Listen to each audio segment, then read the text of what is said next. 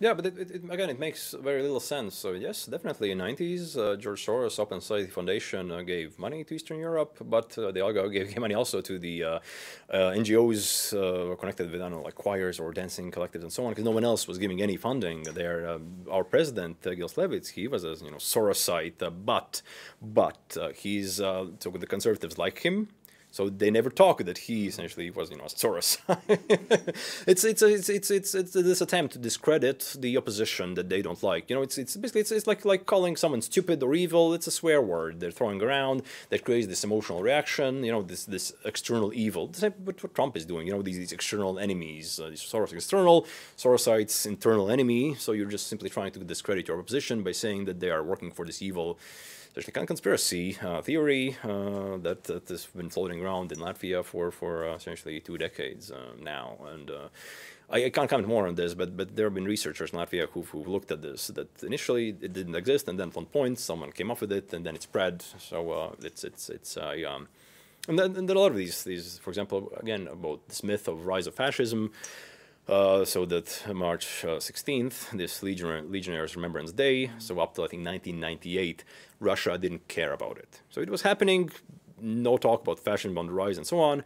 Then I think it was 1998, Russia decides to politicize this, and Russia starts talking about this day is the day when the fascists, fascists are marching in Latvia, it's horrible, and so on. So basically politicizing the, the, these, um, well, basically, well, non-issue that's that wasn't a big deal before, and that's uh, also what happens. Uh, so, if you look at uh, Trump, uh, if you look at Russia, if you look at these kind of values, so uh, for for example in Russia, uh, these conservative values they were not politicized early on um, until Putin did it.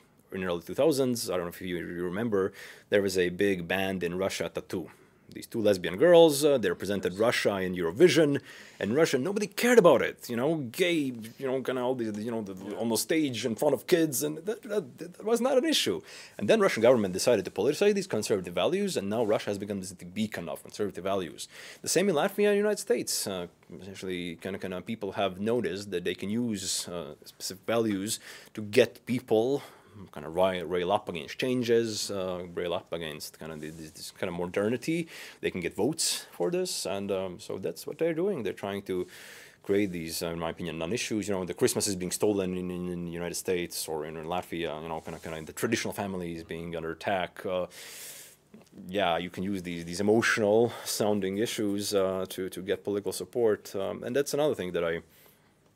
Um, so we talked about Trump. Oh, he's kind of kind of um, thinking about these political calculations. So I can use these authoritarian sentiments or, or, or this, this, this image of chaos around to get votes.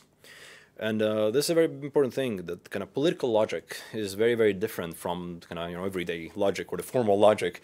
Political logic is uh, basically how I can get re-elected. I want to stay in power. If you're a politician, that's what you want to do.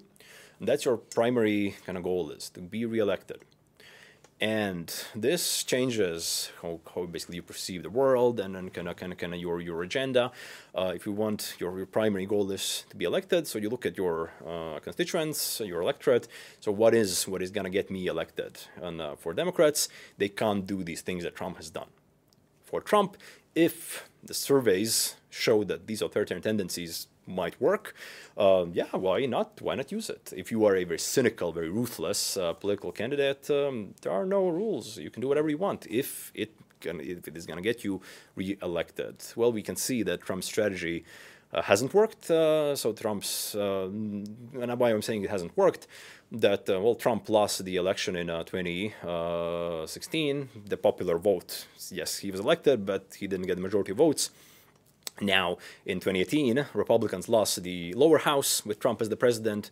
Now, Republicans, well, in 2020, Trump was impeached. Trump lost the election in 2020. Now, in 2021, uh, um, Republicans lost the Senate, and Trump is impeached again. So, Trump's strategy, although very polarizing, very, very kind of kind of crazy, very sensationalist, has not worked. Republicans have lost with Trump as a president. Yes, society is divided. U.S. is essentially very chaotic political situation, very problematic kind of foreign policy. But Trump's strategy has been a disaster. If you look at uh, Republican Party, if you look at his achievements uh, in the office, so Republicans who controlled the presidency, both houses control nothing now. In uh, well, not nothing. I'm not. I'm exaggerating, but uh, but uh, so yeah, there's definitely been um, so the strategy hasn't um, delivered uh, what what um, well what is the the goal of any party or politician stay in power.